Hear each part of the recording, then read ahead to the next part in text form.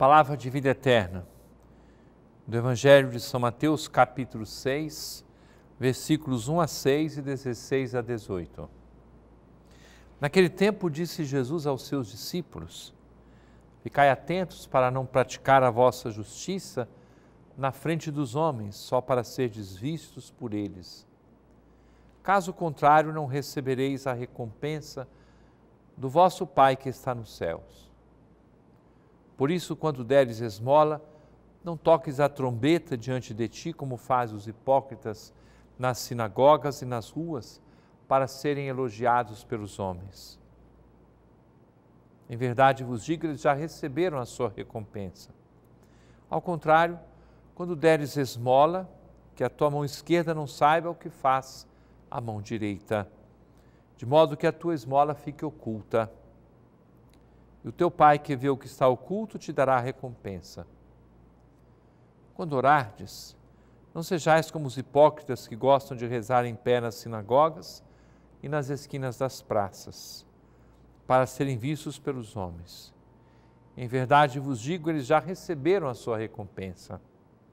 Ao contrário, quando tu orares, entra no teu quarto, fecha a porta e reza ao teu Pai que está oculto e o teu pai que vê o que está escondido te dará recompensa. Quando jejuardes, não fiqueis com o rosto triste como os hipócritas. Eles desfiguram o rosto para que os homens vejam que estão jejuando. Em verdade vos digo, eles já receberam a sua recompensa. Tu, porém, quando jejuares, perfuma a cabeça e lava o rosto, para que os homens não vejam que estás jejuando, mas somente teu Pai que está oculto e o teu Pai, que vê o que está escondido, te dará a recompensa. Caríssimo irmão, caríssima irmã, seja bem-vindo, seja bem-vinda às celebrações da Quaresma que hoje se iniciam. A palavra de Deus hoje nos abriu a perspectiva para três práticas de religião: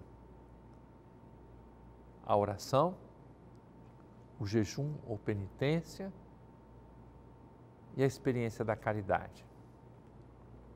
Com a oração, Jesus nos ensina a rezar, nós estabelecemos o relacionamento adequado com o Pai do céu. Não para aparecer, mas para experimentar essa sua paternidade.